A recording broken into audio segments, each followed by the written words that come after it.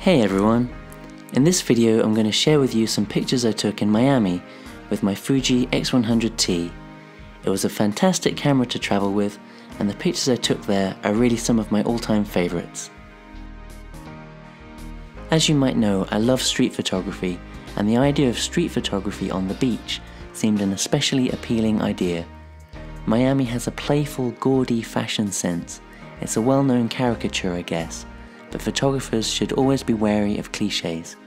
That might be partly why I chose a slightly grungy black and white look to a lot of these pictures.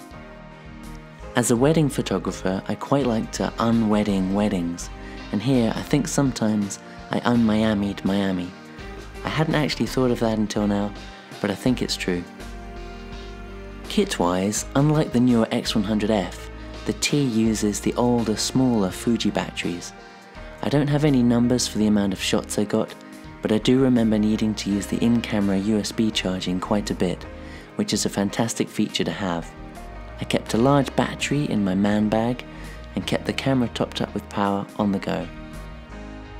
This was quite important as I was staying in a hostel where I didn't have a private place to charge multiple batteries overnight.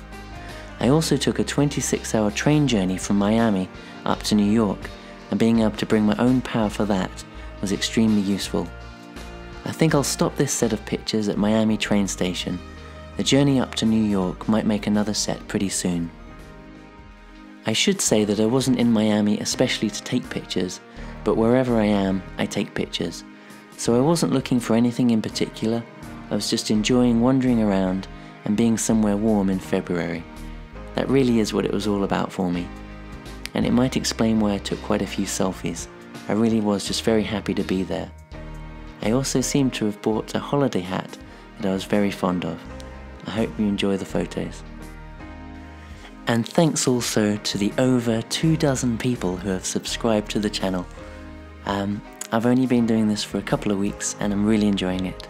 Thanks again.